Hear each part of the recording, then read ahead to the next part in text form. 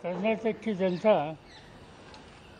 BJP को दूर करके वहाँ एक सेक्युलर गवर्नमेंट बनाने में आगे जाएगी।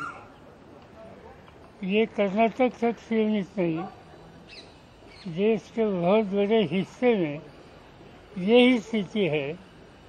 मगर ये स्थिति और इसमें कामयाबी आनी हो तो हम लोगों को मिलकर काम करना चाहिए।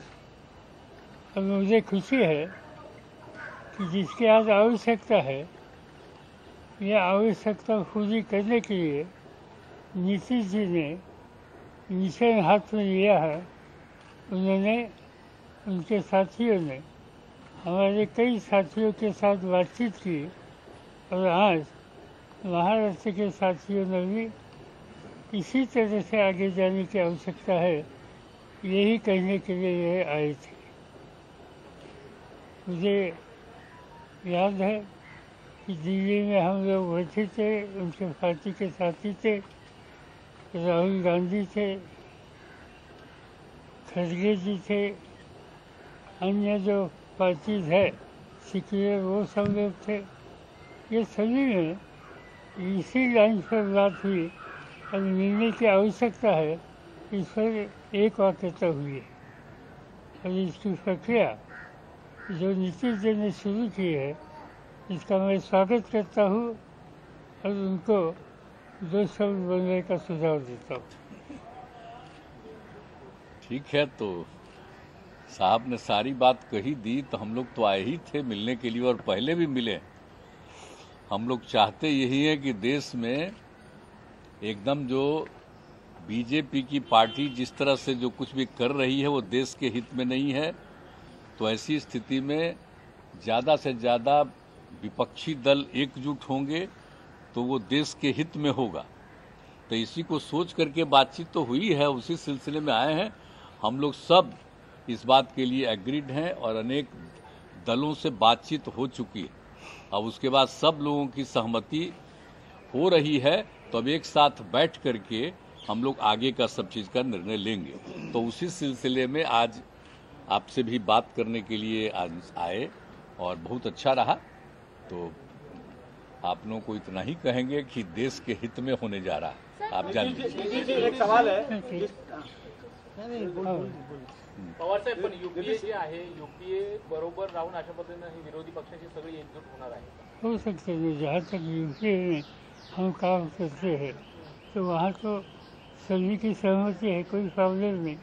अभी सब जो महाराष्ट्र में उद्धव जी के नेतृत्व वाली शिवसेना हो कांग्रेस तो है ही है हम लोग है ही। और यहाँ के और छोटे को पार्टीज़ है उनके साथ भी हम बात करेंगे मिलकर काम करेंगे कोई तकलीफ़ नहीं है। महागठबंधन सर, की आप सर, बात कर रहे उसमें कांग्रेस आपके साथ रहेगी या नहीं रहेगी और उसका चेहरा कौन रहेगा? नहीं जो एक गठबंधन बनेगा तो आप तो शुरू से जानते हैं ना कि हम तो एक बड़ा गठबंधन बनाने के के लिए लगे हुए हैं। तो वो तो बन ही जाएगा।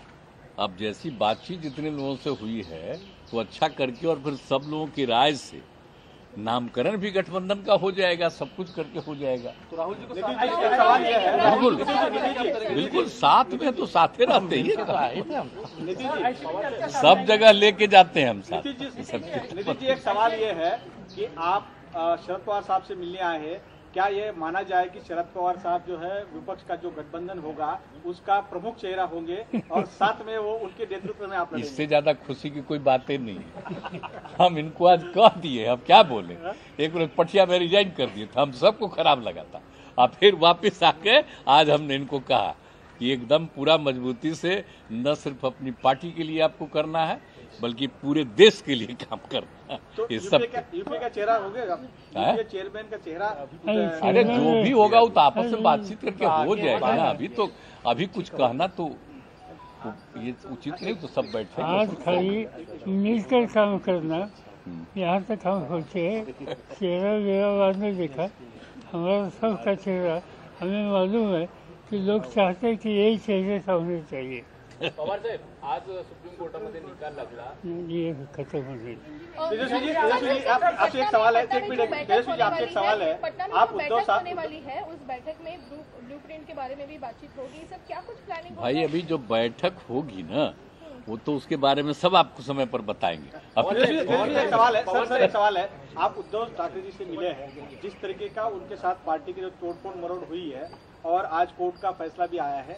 क्या लगता है कि उसके जैसे व्यक्ति आपके साथ रहने से उनकी पार्टी की ताकत आपको मिलेगी या आपकी वजह से उनकी पार्टी को ताकत तो आए थे भाई देश का तो सवाल। सब सही है। देश के सवाल के लेकर के एक होने के लिए हम लोग हैं। बिल्कुल और तो सारे प्रेस तो वालों से तो ही उनकी था। बातचीत हुई गई। पवार साहेब आज कोर्टात एक निरीक्षण नोंदवण्यात आलं की उद्धव ठाकरेंनी जर राजीनामा दिला नसता तर कदाचित मी वेगळा विचार केला असता कोर्टाचं जजमेंटमध्ये म्हणण्यात आलंय. तुम्ही स्वतः म्हणाला होतात की जर काय आता चर्चा करण्याचा अर्थ नाही. माझ्या पुस्तकात मी लिहिले ते. पण अशा पद्धतीनं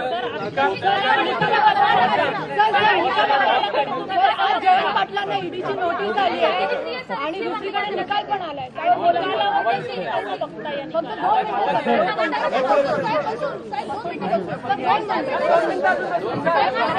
अरे अब तो बात हो ही गया तो मिनट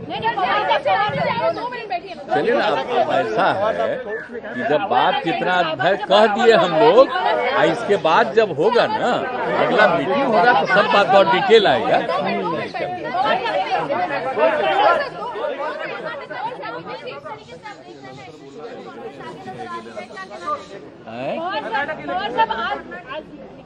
हाँ? बोलिए।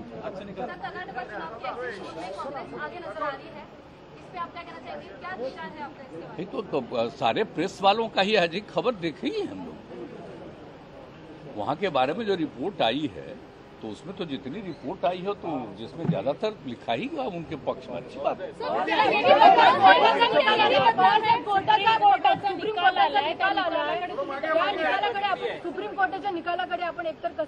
आणि दुसरं आज जयंत पाटलांना पण ईडीची नोटीस आली.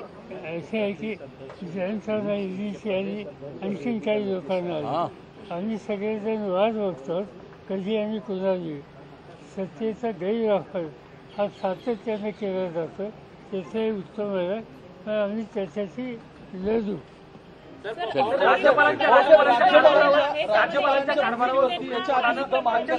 चुकीच्या गोष्टी केल्या सगळ्या गोष्टी नियमबाह्य जाऊन काय केल्या आहे की राज्यपालांची निवड किती चुकीची केली जाते याचं उत्तम उदाहरण महाराष्ट्राने पाहिजे. आणि मला वाटतं की जाहीरपणानं मी त्याच्यावरती इच्छा असताना एकदा बोललेलं आहे आणि कोणतं सुप्रीम कोर्ट का फैसला आया है की एक बड़ी सभा होगी उसके लिए देश भर आप घूम रहे हैं सभी पक्षी इकट्ठा कर रहे हैं अरे भाई कहाँ सभा होगी कहाँ विपक्षियों की एकता की सभा होगी वो तो उसके बाद घोषित होगा अभी कहा के लिए अभी कुछ कहना ठीक तो नीतीश कुमार और शरद पवार की ये प्रेस कॉन्फ्रेंस और इससे पहले नीतीश कुमार उद्धव ठाकरे से भी मिल चुके हैं नीतीश कुमार, अब 2024 के आम चुनाव से पहले विपक्षी एकता की कोशिशों में पूरी ताकत से जुट गए हैं। देखना है उनकी ये कोशिशें कितना रंग लाती हैं। पत्रकारों से लंबी बात की, काफ़ी कुछ कहा, लेकिन काफ़ी कुछ फिर भी नहीं बताया। आने वाले दिनों में तस्वीर और साफ़ होगी।